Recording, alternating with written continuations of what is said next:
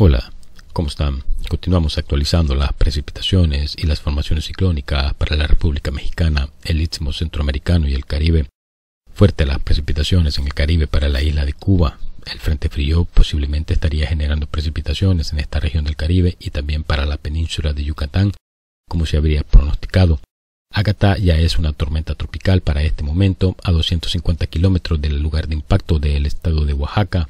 es una tormenta tropical para este momento y estaría a muy poco a horas estaría de convertirse en un huracán categoría 1 y eventualmente se convertirá en un huracán categoría 2 para el día lunes, justo antes de impactar la región que ha cambiado un poco, los modelos han modificado su trayectoria, algunos de ellos un poco más hacia el norte, esta vez el modelo europeo el Servicio Nacional de Huracanes, la NOAA, nos muestra otra región que ya la vamos a analizar, pero también para este momento, como podemos ver, eh, las tormentas pudiesen ser bastante fuertes para todas estas regiones del suroeste de la República Mexicana, para Guerrero, Oaxaca, Chiapas y también para algunas regiones del Istmo Centroamericano, como podemos ver acá, también contando con precipitaciones, prácticamente todos los países del Istmo Centroamericano contando con precipitaciones debido a la tormenta, el sistema o el frente frío y las ondas tropicales que continúan y continuarán generando precipitaciones para estas regiones de Centroamérica y el sur de la República Mexicana. Acá podemos ver en esta gráfica que a este momento ya sería una tormenta tropical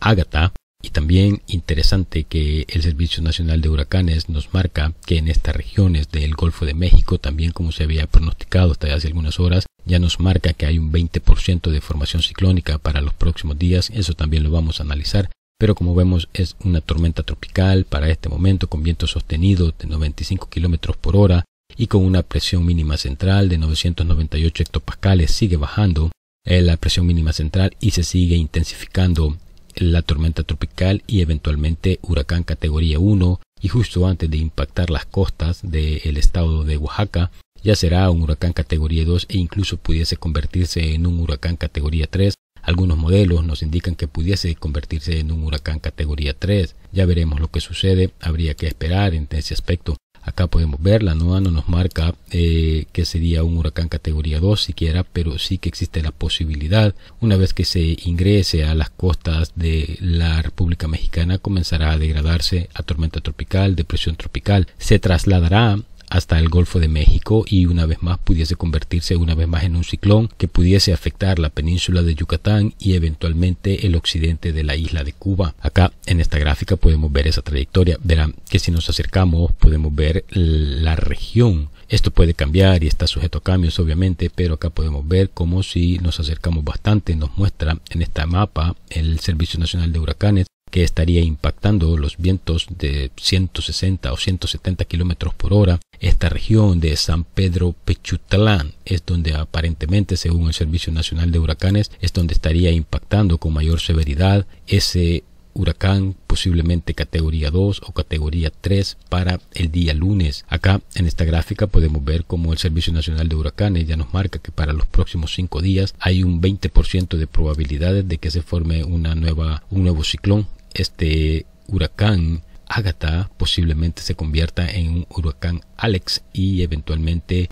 impacte una vez más territorio mexicano y eventualmente el occidente o alguna región de la isla de Cuba. Acá, en este gráfico de la Marina de los Estados Unidos nos muestra la nubosidad que se estaría generando al suroeste de la República Mexicana, pero vamos a analizar la posible trayectoria según estos gráficos que tenemos aquí. La Marina de los Estados Unidos nos sigue mostrando que será Puerto Escondido, hacia donde se estaría dirigiendo este posible huracán categoría 2 o 3. Coinciden bastante algunos de los modelos. La NOAA nos marca que sería un poco más hacia el sur, sin embargo, acá podemos ver este otro modelo, la Marina de los Estados Unidos, que nos muestra que será en estas regiones cercanas a Punta Escondida. Algunos de los modelos nos muestran que o nos continúan mostrando que será estas regiones del estado de Oaxaca, hacia donde se estará dirigiendo esa tormenta para los próximos días. Pero verán, quiero que analicemos y veré si podemos analizar, mejor dicho, lo que estaría sucediendo para poder incrementar este huracán para los próximos días. Acá podemos ver cómo nos marca este también este gráfico